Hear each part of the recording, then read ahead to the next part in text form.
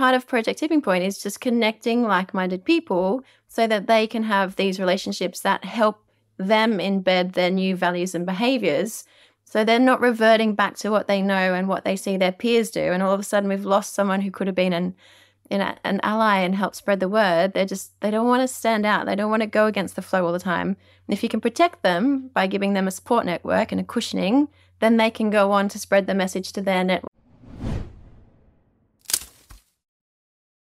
Hello and welcome to Planet Critical, the podcast for a world in crisis.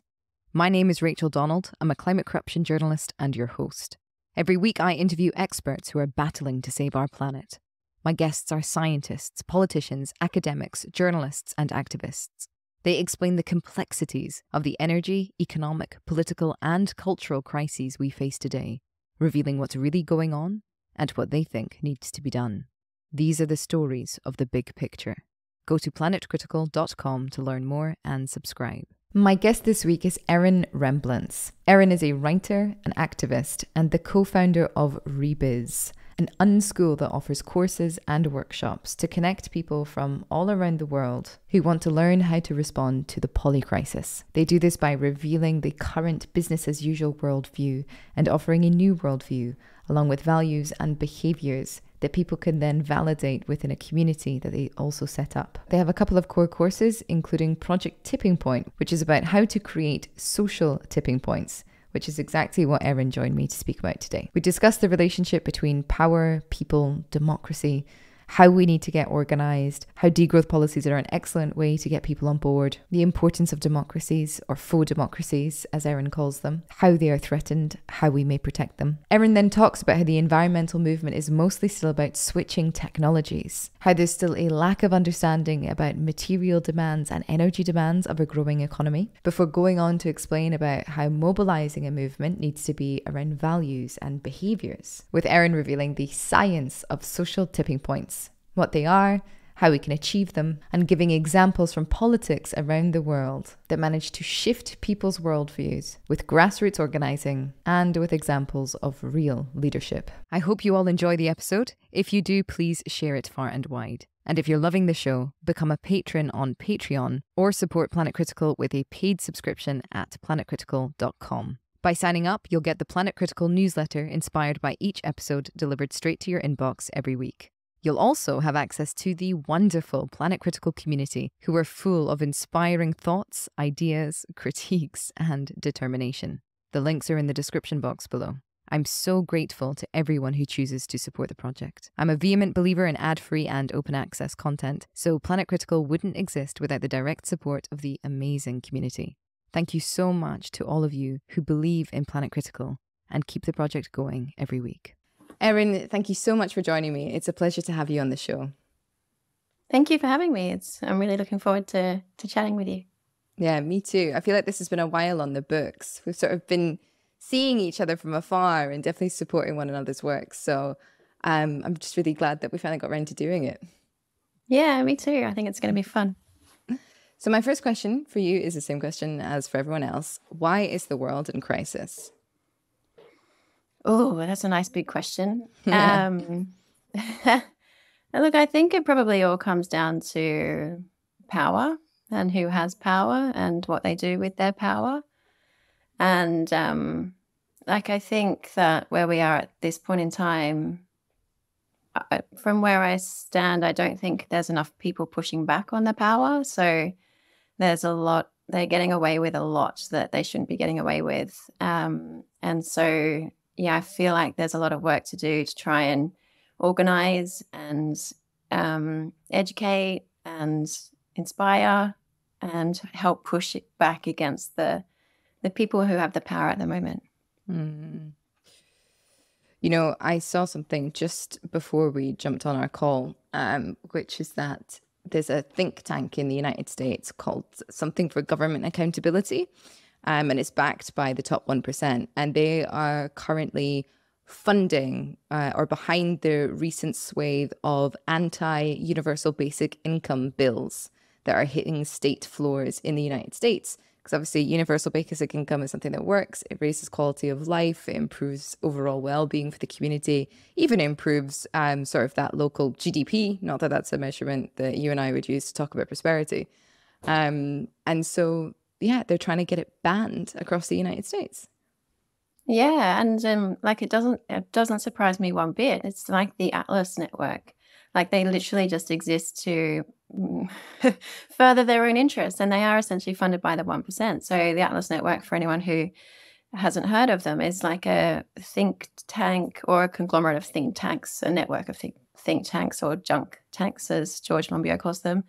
Um, there's 550 of them in 100 different countries who just exist to to achieve what the people who fund them want to achieve. And that's, you know, basic neoliberal policies like small government, free markets, um, and anything that goes against that, like supporting workers, um, providing people with basic human needs. They won't support that. They will come up against that. And we're seeing it over and over again. And unfortunately, they're very well organized, probably much better organized than we are at this point in time. So, yeah, um, I feel like we're going to see a lot more of that happening before enough people realize that this is really serious. Um, yeah. And that's the same with the sort of protest laws that we're seeing come up, like, you know, for crazy little things like walking slowly, that's now illegal and you can go to jail for six months. Like, what? Mm. How on earth is this possible? But mm. um, yeah, that is what we're seeing.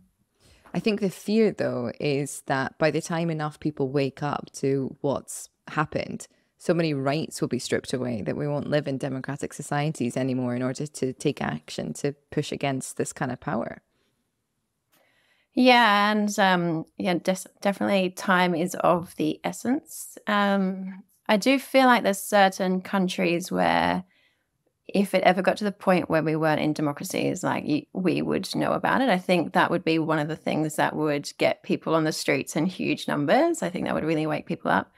Um, but yeah, like yeah, I, I, that's why I do this work every day as much as I can because we need to mobilize as quickly as we can. Let's yeah. let's let's tease that out the the democratic nation thing and if it would wake people up. Um, which countries and why? Like, yeah, why do you think that that would sort of be the the response from the majority of the people? Yeah, so I'm primarily, a lot of my work is focused on the global north over consuming countries. Um, and mostly because I feel like they're the countries causing the harm.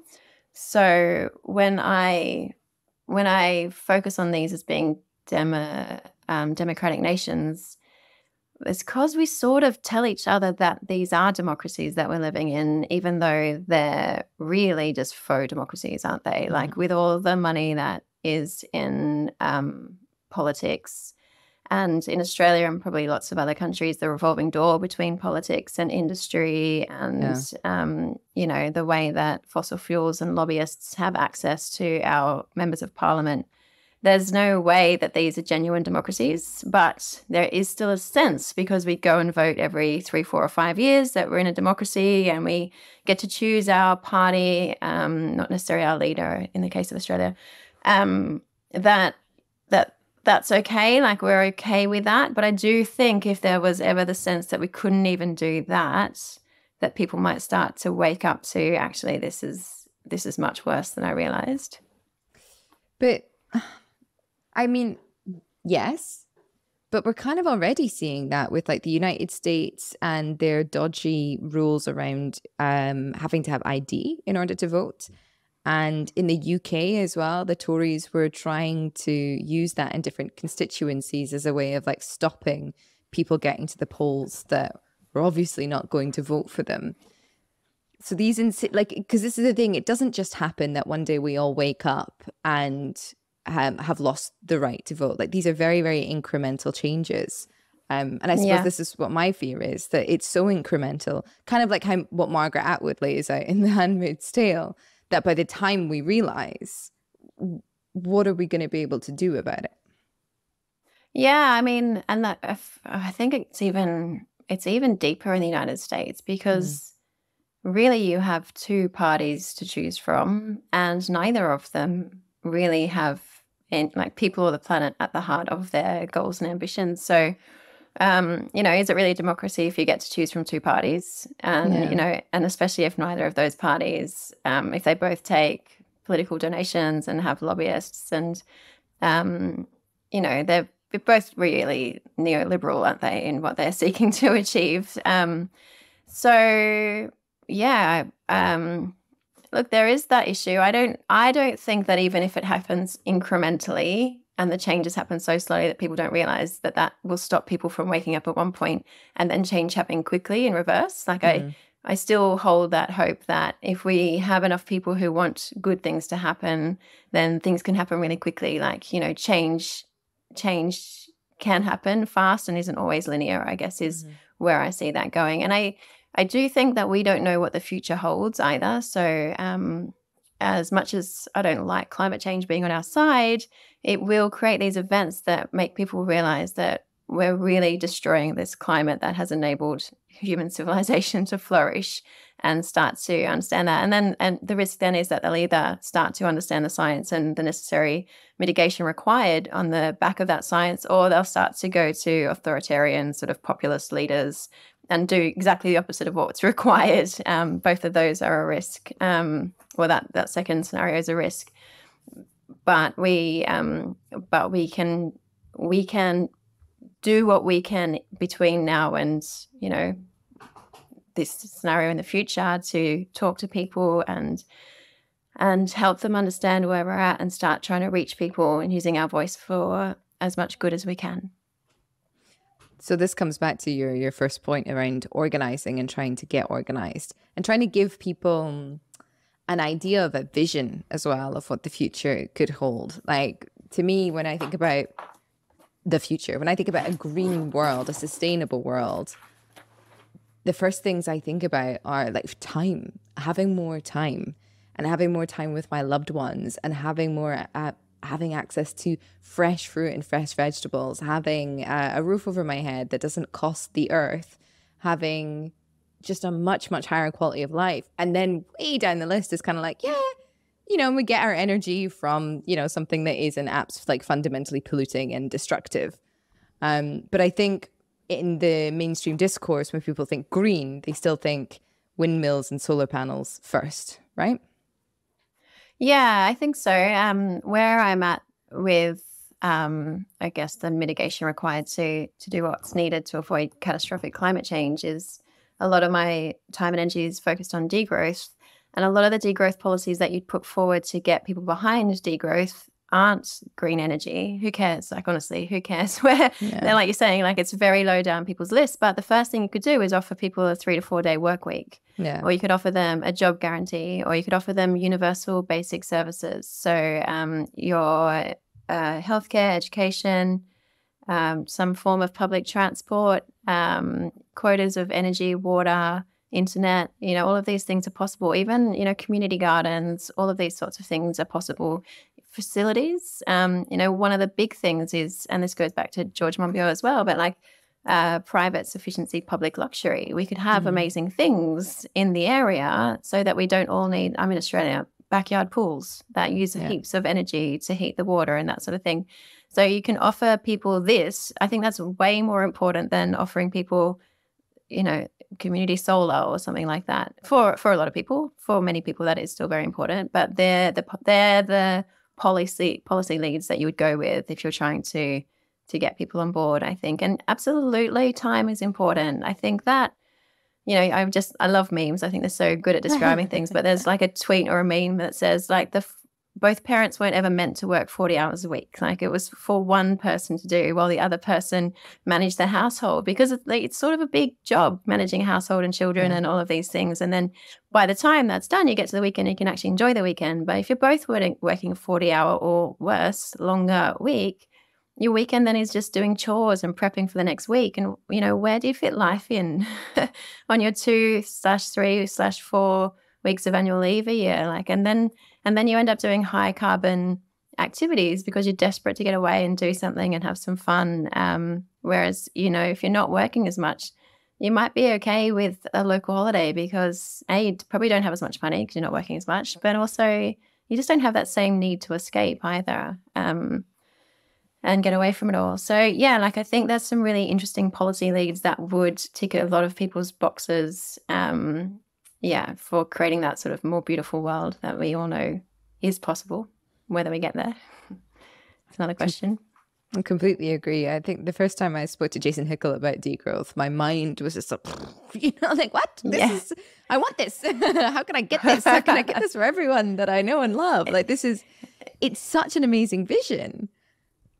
It just makes sense as well. Like it's you know, why would we grow an economy forever? Mm. It's it's clearly not possible, especially when you understand the correlation between GDP and energy use and GDP and material throughput and then the connection between energy use and our ability to decarbonize, and the connection between uh, material throughput and biodiversity loss. You know, like here's two of our key planetary boundaries. Can you explain all those throughputs for us? So GDP and energy use, they're like basically a ratio of one to one, so very tightly coupled and can't be decoupled. There's an Australian economist, his name's Stephen Keen, and he says um, capital without energy is a statute and a human without energy is a corpse because everything we do in our economy requires energy whether it's food whether it's oil whether it's um, coal burning to create electricity. So that's why you see this sort of chart where gdp and um, energy just uh, go in lockstep and they always will. Like it's very there is no proof that they can be decoupled.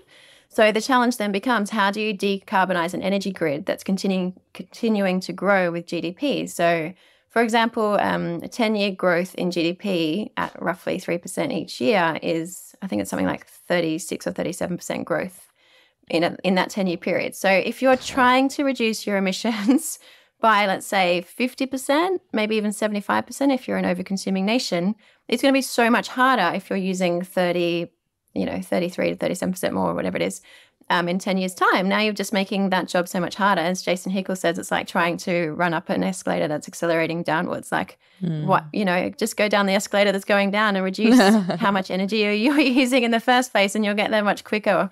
Um, and then, so the link between GDP and material throughput is also pretty much one to one. So, basically everything we do in the economy, you know, we're pulling fish out of the sea, we're chopping down rainforests, we're pulling up fossil fuels, we're pulling up rare earth minerals. All of these things um, leave an impact and and affect our biodiversity first and foremost. So, um, you know, a lot of the research at the moment shows that we are obviously in the sixth mass extinction. Scientists have been saying that, but at this point in time, that's not mostly caused by climate change. Like it certainly will be, in the future. But at this point in time, it's it's caused by land use change and how we're using the land. So animal agriculture, um, yeah, logging of rainforests, uh, urbanization, roads, all of those things. Yeah. So and just decarbonizing our energy won't change that. Yes, absolutely.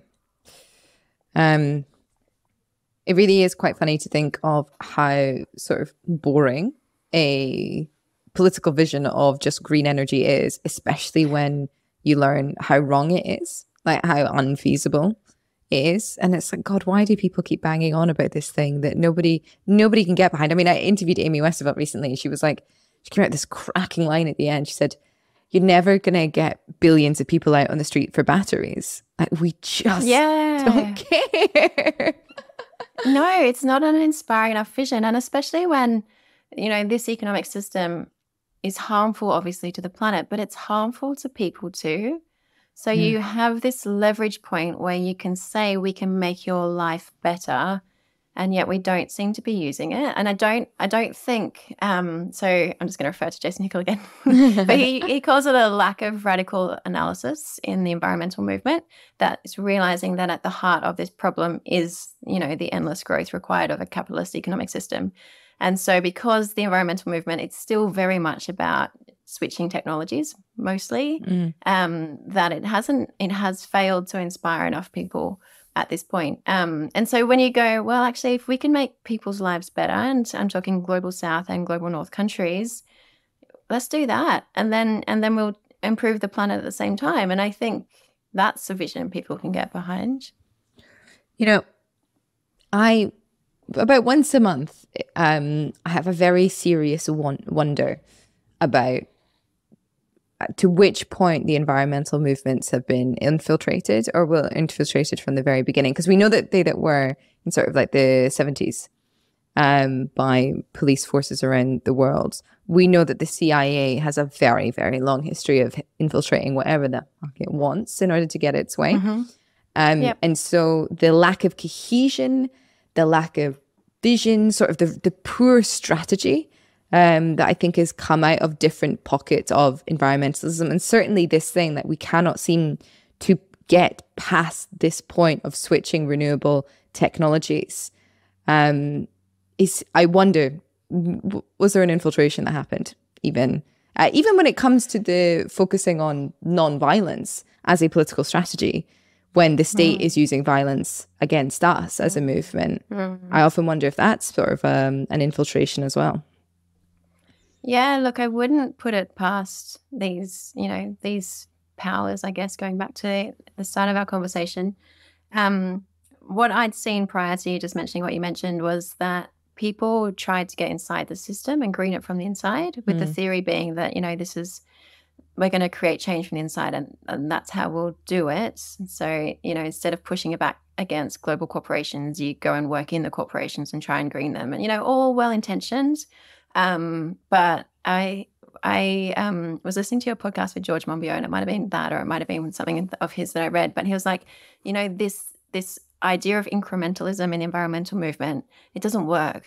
A, it doesn't work because it's not enough, and B, it doesn't work because it doesn't inspire people. And so, yeah. you know, like it does, it's just not garnering enough support. Um, but as you say regarding the CIA and and others, like it's the thing that keeps me up at night. It's like we could get everyone on board, and then they could use, you know, the violence that they're not afraid to use against, you know, us. So, um, and I can my my only thought on what we do about that is we we get the numbers to change the the people in power and I, I, i'm not even sure if that's the right solution but i do know that it starts with more people being aware and and creating movements and and so that's where my work is centered. But it's a, it's a massive risk i agree.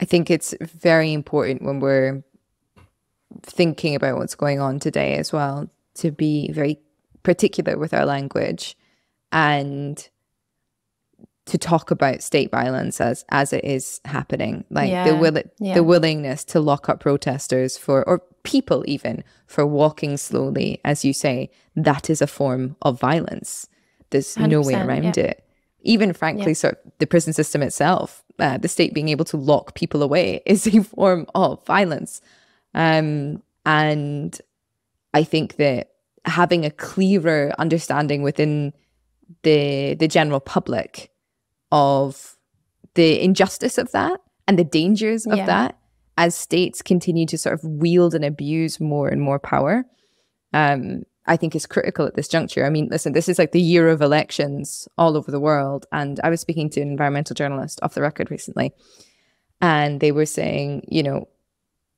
in November when the US election happens, he thinks that it's going to be Trump either way because either Trump's going to win because Biden has really, really, really screwed up on Israel, um, mm-hmm. or uh, Biden's going to win, but Trump's going to claim he's won the election. And all of these militias are going to go out, and the Democrats are going to be faced with well, we, do we use the military against, do we deploy the American military against the American people? or do we hand mm. over? Mm. It's 2024. What? How? Mm. And yet, if you've been paying attention, like, I mean, he said it. I was horrified. And I was like, it makes sense. If you look at the trajectory mm. of how much violence has been deployed in the global north in recent years against their own citizens, it is not a mm. wild leap of the imagination by any stretch. And we're doing ourselves a mm. disservice to think that that could never happen here again. Mm. Yeah, I mean, I yeah, I I never thought January 6th could happen. So right. now that I know that it can, like you wouldn't put it past Trump and and this and his supporters. So that would be a sad state of affairs. But I'm I'm genuinely not sure if there's I don't know, is is Trump better than Biden? I don't know. Like mm. if you're actively supporting genocide and making excuses for it, like are you really gonna do what's required and from a from a climate point of view? And I don't know. I'm, uh, yeah, I remember when uh, Trump got elected when he beat Hillary in 2016. Greta Thunberg woke up and she goes, "Oh well, you know, maybe people will realize this is how bad it is, and it might wake a few people up." Like, mm. part of me is like, if Trump wins again, maybe people start to realize that actually things are really bad, and democracy is not a spectator sport, and they need to get out and help. You know, like some, I I sort of think things are going to get quite bad before they get better, and so if mm-hmm. that quite bad, you know, like I obviously i'm not I'm not condoning violence or anyone getting hurt, but if we can do that quite bad quickly, then we can save things even quicker. Is a little mm-hmm. bit of my thought process because there is, you know, climate tipping points and things that we won't be able to save if if this takes a long time.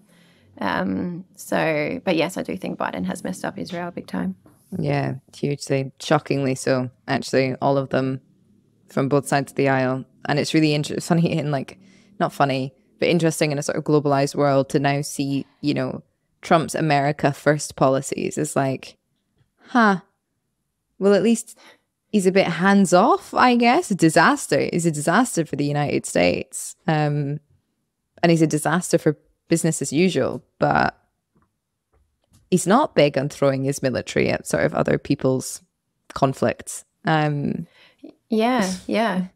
Yeah, he might have even yeah, he might have stopped, you know, sending military, you know, money and and um, arms and things over there. I don't know.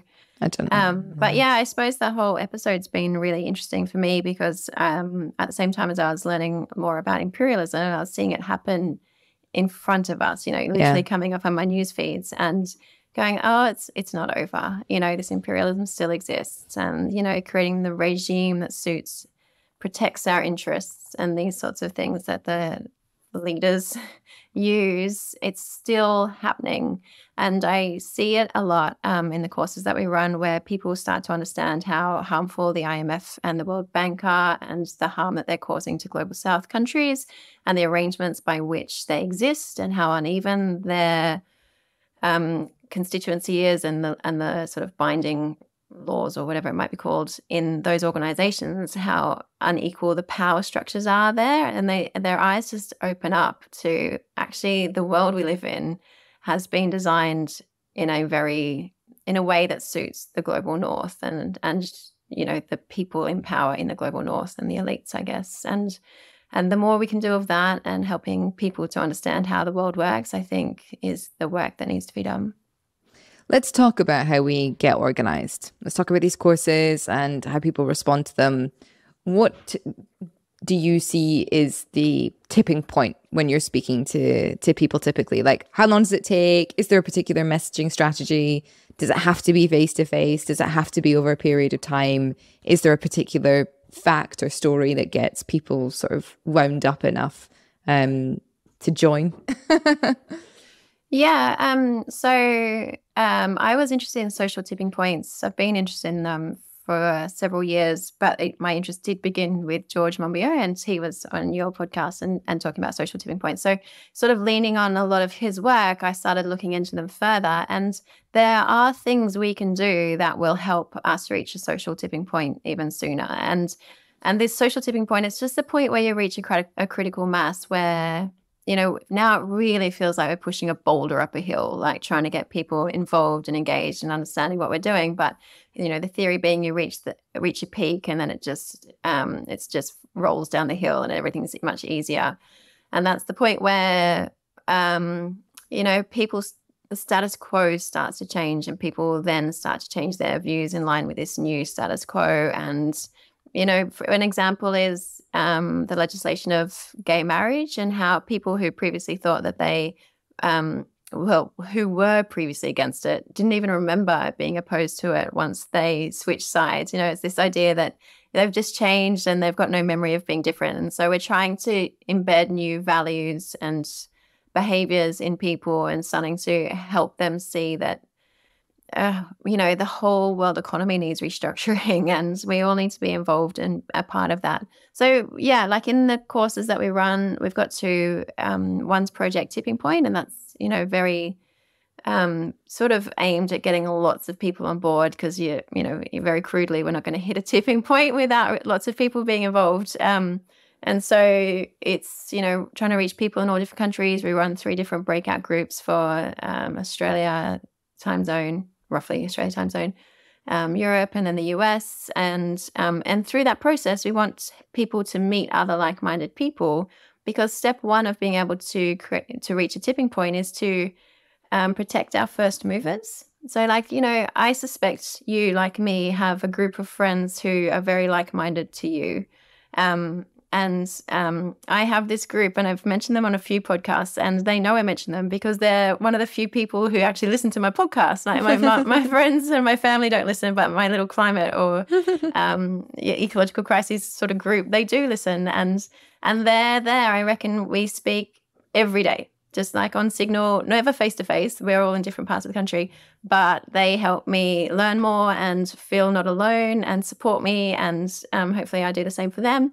And so, part of Project Tipping Point is just connecting like minded people so that they can have these relationships that help them embed their new values and behaviors.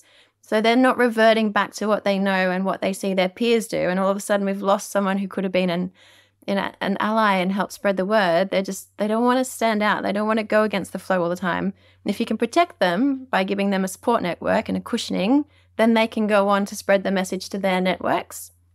So that's sort of step one in creating a social tipping point. Um, it's all very interesting actually when you start to learn about it. Um, there's this idea that we just need to reach influencers. And, you know, if we can get someone who's got 100,000 followers and they spread the message, you know, that'll be so good. But um, a lot of my research is leaning on the work of Damon Centola, who's written a book called, mm, I think it's just called Change. I'll find out and confirm. Um, and he's saying it's influencers aren't going to do it. They've got too many countervailing forces around them because they have such a big network that what will happen is a movement will get so big that they can't ignore it and then they'll take it up, but they're not going to be the people who spread the word in the first place. So, um, actually, change happens in the periphery. It's like the people who have their network reach um, the people closest to them, and then hopefully they spread the word and reach the people closest to them, and and that's the sort of idea behind creating a snowball effect. Um, and so, actually, it's everyday people like you and me uh, who have this ability to create change and we don't need to wait for influencers which is wonderful news actually because if you think about it on balance the influencers are probably not wanting to see you know a whole new economic system created you know like yeah, there's a few of them but you know if you had to put them on a scale the ones who just want to see business as usual and you know continuous economic growth or whatever they're just going to tip the scale right down because there's so many of them but we can reach the people in our sphere and they can reach the people in their sphere and until it creates momentum. Um, so that's that's sort of a couple of elements. But another one I find really interesting is that um, a movement gets credibility not just by seeing it a lot of times. So something comes up in your news feed 10 times, that's interesting. But if it comes up 10 times from 10 different people, now it's really interesting. And if it comes up 10 times by 10 different people who have 10 different professions and quite varied professions, now I'm really interested. Like this gives mm. the movement credibility. So, you know, I am a, essentially like an activist and um, a researcher and a writer, and a lot of times just a stay at home mum. But if um, I see an engineer or a doctor, the theory is that um, supporting a cause, as well as, you know, other parents or activists, now I'm really interested because this cause has garnered support from a lot of people, not just the one niche. So it's about how many times you see it, how many different people do it, and also the sort of how varied those people are that you see supporting a cause. And that's where the status quo changes. Now you're like, oh, I'm on board. I get it. And um and there's just tell me when to stop if I'm going on too. No, please too keep going. I'm this. fascinated. it's super interesting. So um, there's a lot of research to say that there's two types of uh, contag- uh, contagion. So there's a simple one, which is like news or gossip or I don't know. Um, that's sort of the research around six degrees of separation. Very simple contagions, very easy. Your network is your network, and um, in that in that instance, an influencer is quite powerful. Um, but the second type of contagion is a complex contagion, and um, and that is where we're trying to change something much more complex, hence the term, um, than simply, simply like uh, gossip or news or um, you know a, a new type of fashion or whatever it might be. This is something we're trying to change people's values, people's behaviors, things that are deeply held inside of them.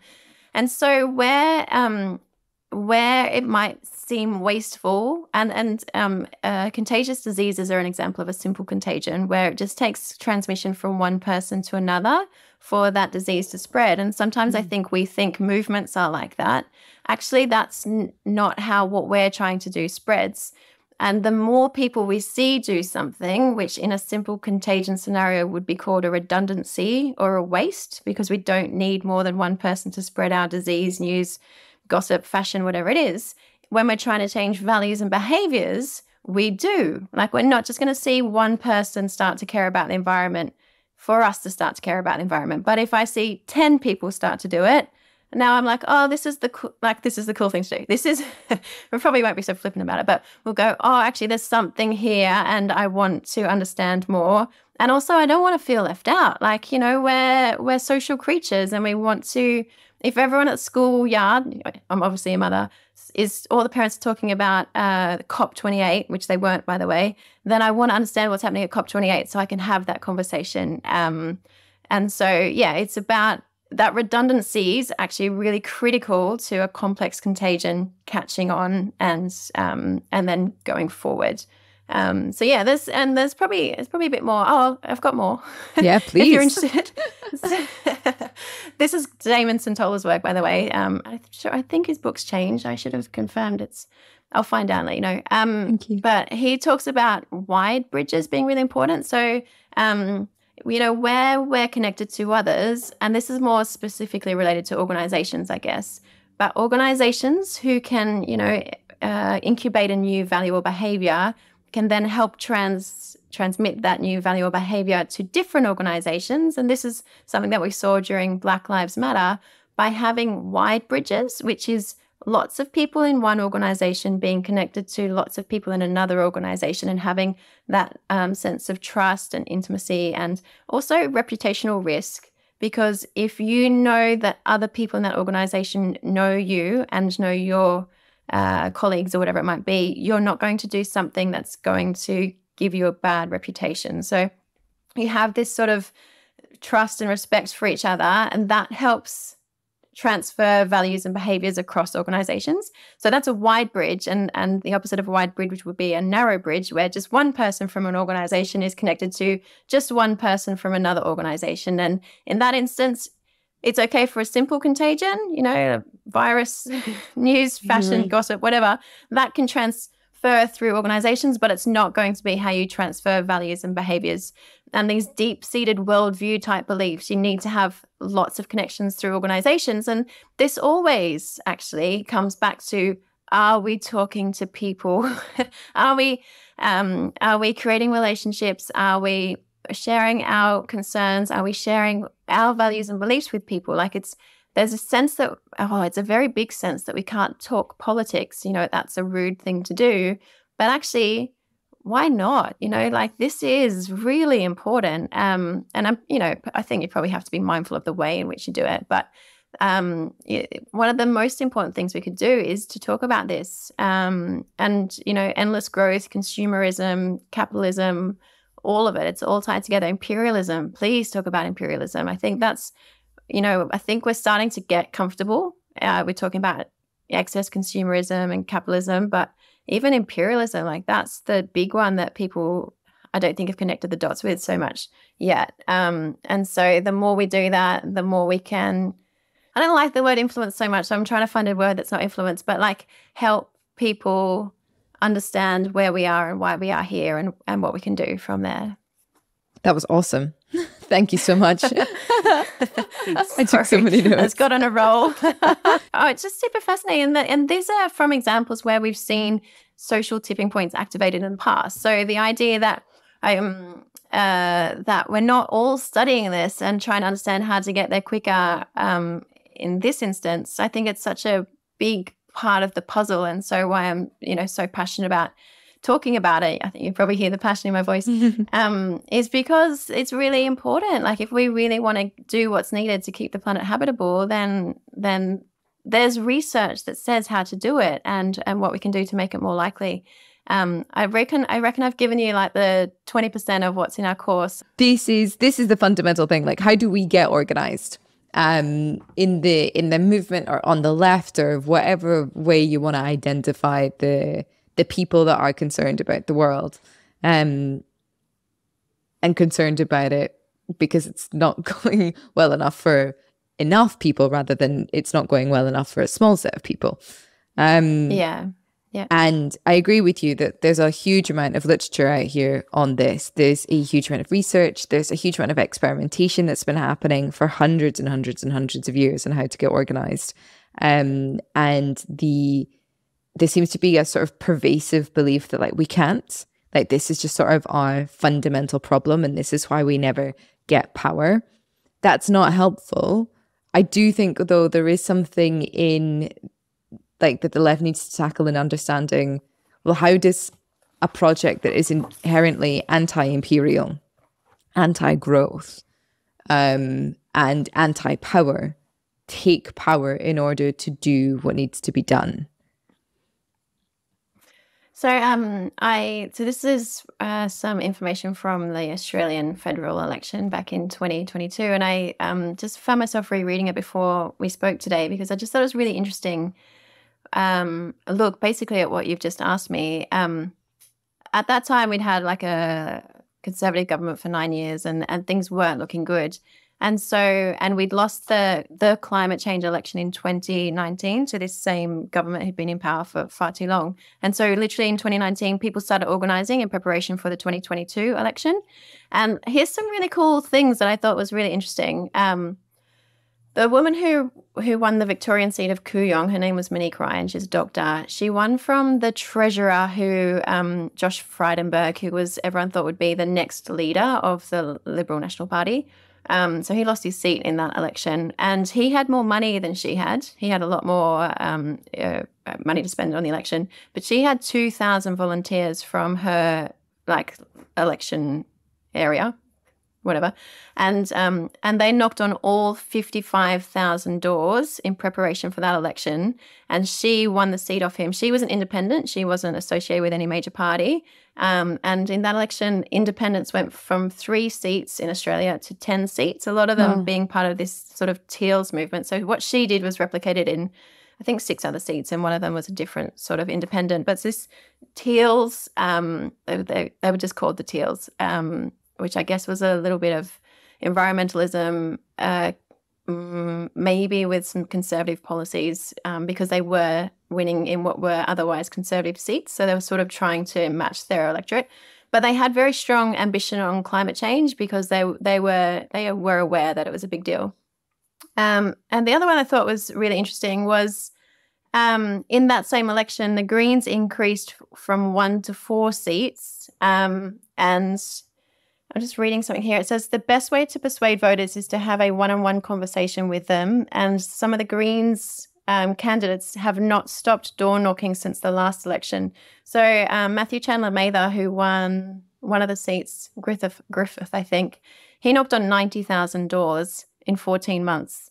Um, so he wow. was just determined to organize. And in that, um, and he switched a conservative seat to being a green seat. There were two examples of a conservative seat, not just going to a left wing seat, but to like a, a green seat, not just the Labour Party, but to the Greens.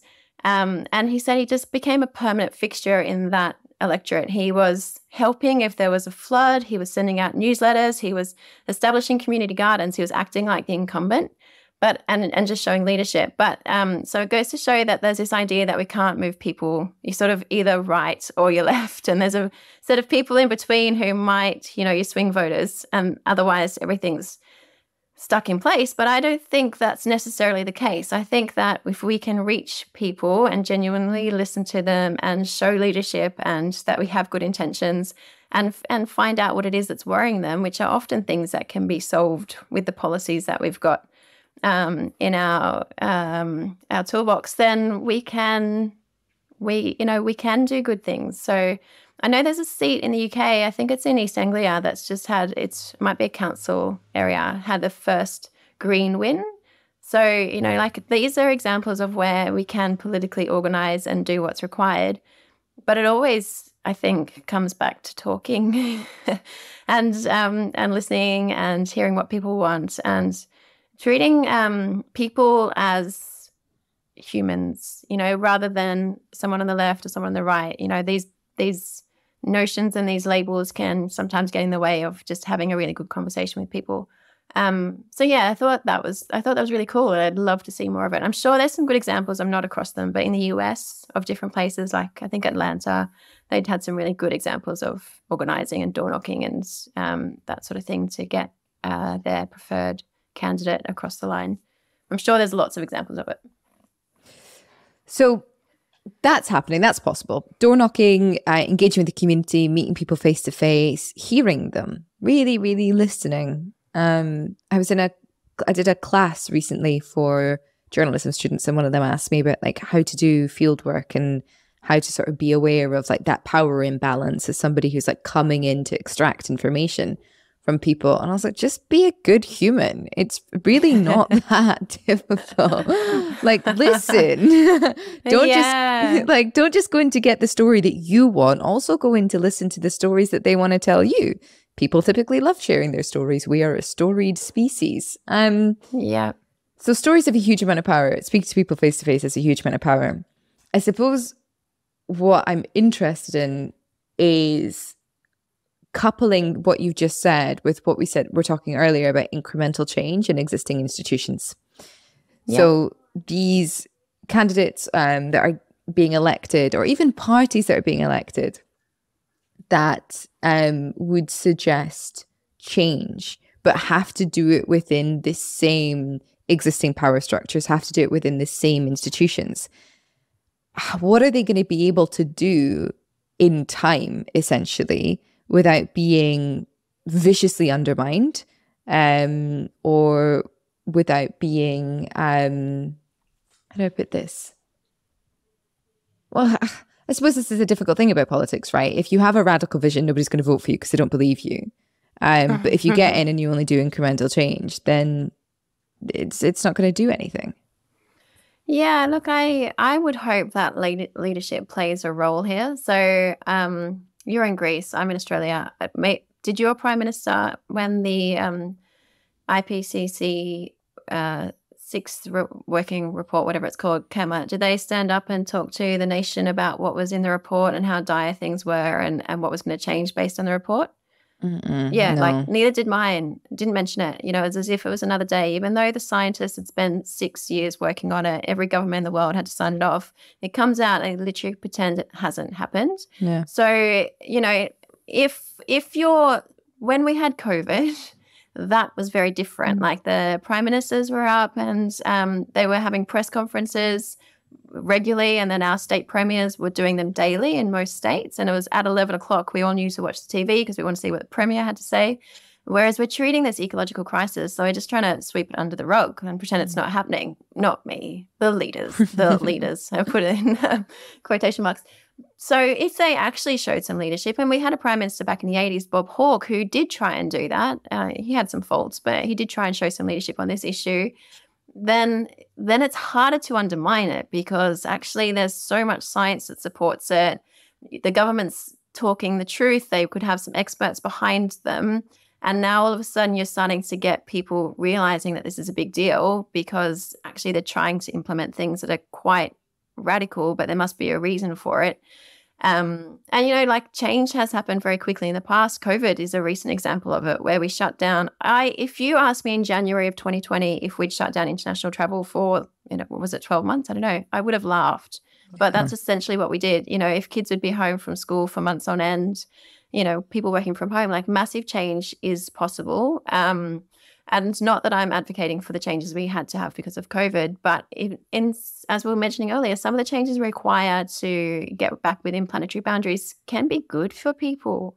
Mm-hmm. You know, we could have time, we could have better food, we could have more connected communities. Like, I don't think anyone thinks that having a second fancier car is the pinnacle of achievement. Well, to be fair, maybe some people do, but you know, like I would rather spend time with my children or uh, spend time with my family or, uh, you know, all of these things, or even have time to develop skills or I love reading. I never have t- enough time to read. All of these things that we don't have time for because we're so busy just on the rat race, you know, like just trying mm-hmm. to run uh, to keep up, I guess. Um, so did that answer your question? Um, yeah. I yeah. Yeah. yeah, I th- I think so. I think so in the sense of it's very important to keep in mind historical precedent and very recent examples of when big change has happened. Um, and not just fall into the thinking of well, it couldn't because it's environmental or it could like we there is no way to tell as you said earlier what the future holds um i do think that there's just a balance between like keeping a realistic eye on the target, which also means using historical precedent, recent historical precedent as a good example of what can be achieved, um, but also means that we do not accept incremental change um, and consider the, the deeply embedded flaws of our institutions and how some of them might be just fundamentally unable to meet this crisis. Yeah, and you know what we're what we're talking about is pretty you know, it's a lot of change. And that's because we've not only actively done nothing for nearly four decades, mm. we've acti- actively made it worse. You know, like 60% yeah. of emissions have happened since 1991 or something. Uh, no, sorry, we're putting 60% more greenhouse gases into the atmosphere than you know, at the Rio Earth Summit in the early 90s. And and now, since that date, we've put more greenhouse gas emissions into the atmosphere than all of human history prior. Like what business as usual is um, is a death march. You know, that's another Hickel quote, but like it is it's fast tracking us into mass extinction. So to undo that, not only the business as usual framework, but also the four decades of making things worse, it, it does mean radical change. Um, and, you know, it's not all bad, but a lot of it is just getting used to that idea of change and that tomorrow doesn't look like today. That's really hard for a lot of people to come to terms with and and to face into. Yeah. There is this sort of guy, there's a guy I follow, um, he has just been trying to spread the degrowth word for maybe a decade. His name's Kirk Hall. Uh, he's on Facebook, and he sort of says maybe two medium-sized countries coming out at the same time, and just saying what I was saying earlier about leadership, and just saying, you know, perhaps in six months' time I'll hold an election, but in the next six months we're going to educate the population on where we are and why we're here, and what steps we could take to um, to mitigate this scenario. And you know, you could use your um, publicly owned uh, media um, channels to communicate this message. And you could say, look, it's still a democracy. In six months, you guys can decide what we're going to do here. But them coming out, that would cascade around the world. Like if mm. there were a couple of prime ministers who were willing to go, I'm not cool with where we are. You know, breaching six of nine planetary boundaries on my watch is not what I want to be doing here.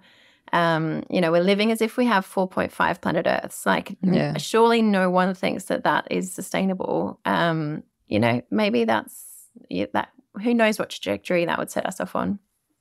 It's real leadership, isn't it?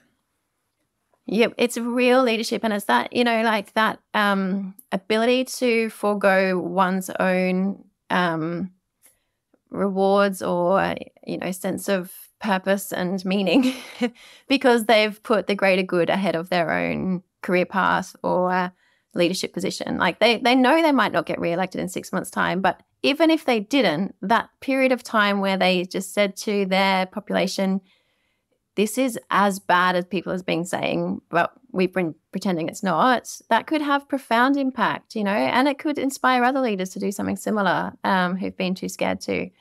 Um, I just, and it's a scenario that I like to think about sometimes when you feel like nothing's ever going to change. Things are always changing.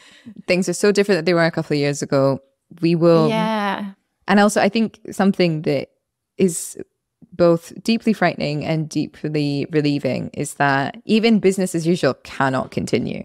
Like, that's what the climate crisis is. That's what oil depletion is that's what you know increasing you know geopolitical tensions is we're, we've moved out of the age of neoliberal capitalism and we're into like some really terrible you know hyper consumerist funding state capitalism resource war scarcity mindset um period but the future like 10 years is going to look very different to now no matter what happens yeah, yeah, and I think um, I see some pe- people commenting things like degrowth is coming whether people like it or not. And I'm Yeah. sort of like, well, that technically it's not because that wouldn't be degrowth, that would be collapse. But like literally, that's the point where we're at. Like, we the future doesn't look like today. Um, the future looks like collapse. Or if we're smart and um, wise enough, we can plan a, a different scenario that's not collapse, but it means us being forward thinking and you know sacrificing some of those things that we always thought were important to put things that are genuinely important and to prioritize those like keeping the planet habitable you know making sure there's enough food in the future for our children and and people who exist already. I always get in this trap of talking about future generations and i know there's people suffering in the global south already who don't have enough food. You know all of these things mean putting others ahead of ourselves sometimes. Well you know in in order to achieve a better outcome for the whole planet. Erin, I think that's um I think that's where we should end today. Thank you so much for your time. This has been so enlightening. Really, really great. Thank you. No, a pleasure. Thanks so much for having me. My pleasure. My final question for you is who would you like to platform? Oh, oh, I've already told you this one. Um, Kris De Decker, he runs Low Tech Magazine and he is a phenomena and I would listen to everything he said forever. Um, he's amazing. He's he isn't explicitly degrowth, but he is degrowth aligned and he's trying to he imagine what degrowth looks like in practice. And it's really fascinating to see what degrowth looks like in, in practice. So yeah, he's he's my platform, Great. my personal Can't wait to speak with him. Thank you so much, Erin. A pleasure. Thank you. If you want to learn more, I've put links to everything in the description box below. Remember to subscribe to the channel if you're new here and share the episode if you enjoyed it. To support the show, subscribe at planetcritical.com where you can read the weekly newsletter inspired by each interview. You can also become a Planet Critical patron. All links are in the description box below. As always, my deepest thanks to that community. Planet Critical wouldn't exist without your support.